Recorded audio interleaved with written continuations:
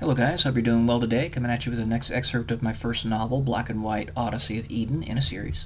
Uh, continuing where I left off. So let's, uh, let's have at it. Or at least, this is what he told himself. In a desperate attempt at disillusion to believe that humanity was better uh, than what the path of their destruction would indicate. At this point in his life, he convinced himself that he did not care that the doomsday clock, as they called it, was 0.1 seconds from midnight. But he did. Why else would he toil? In this barren, solitary, dirty shed.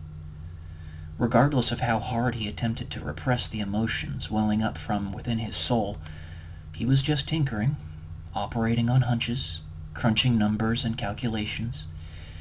He felt aimless. But what else did he have? Several months passed like this, him walking from his apartment to the small wooded area, making sure no one saw where he was going.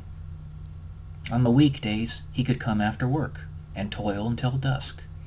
On the weekends, he was consumed by his misfiring ideas, his release from reality, his escape. Finally, on a hot summer afternoon, as he sat upon his torn stool, he pressurized a measurement of mercury he had uh, managed to smuggle from his job a couple weeks ago and placed it in a cavity he had bored into a high RPM industrial turbine, one which he had acquired in the same way only several months prior. I don't know what the hell I'm doing, he exclaimed, as he looked in dismay at the mess before him, placing his hands upon his hips, his dirty gloves staining the already soiled white lab coat he was wearing. He was just shooting in the dark, and he knew it. But it had worked for him before. Try magnetizing it, the scientist said to himself in the chamber. Let's speed you along. You're going to figure this out anyway.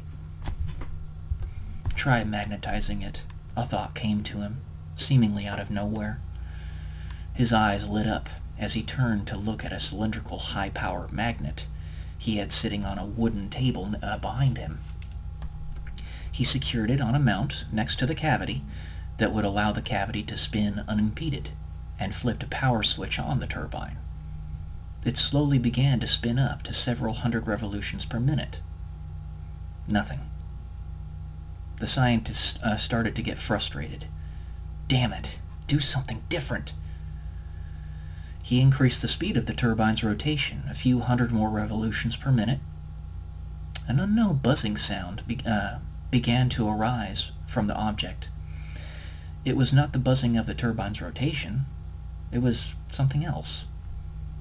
His excitement grew, and he increased the rotation rate even more, this time to several thousands of revolutions per minute.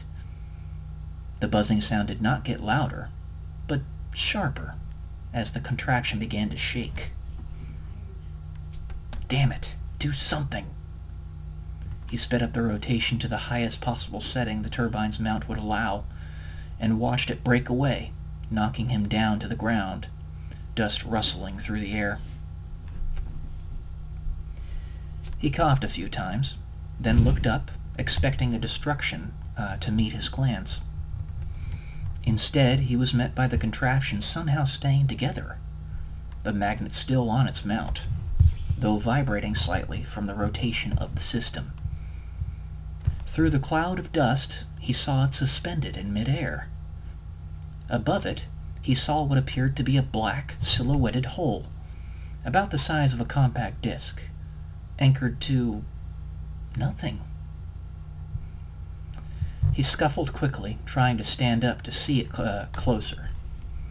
It appeared to have depth, if one were to look into it, but no thickness on its own. As he peered into it, he saw himself stumbling onto the ground, kicking up a cloud of dust, and immediately thereafter, skies covered with clouds of soot, sick and dying people crying in agony, moving as quickly as the, uh, their decrepit bodies would allow them in, in order to escape a city up in flames in the background. As quickly as the sight had rested upon his conscience, it vanished, as the magnet fell from its mount and the turbine crashed to the ground in a thunderous upheaval of dust and debris. That's it for this section. I'll continue with the next one later. Love y'all. Peace.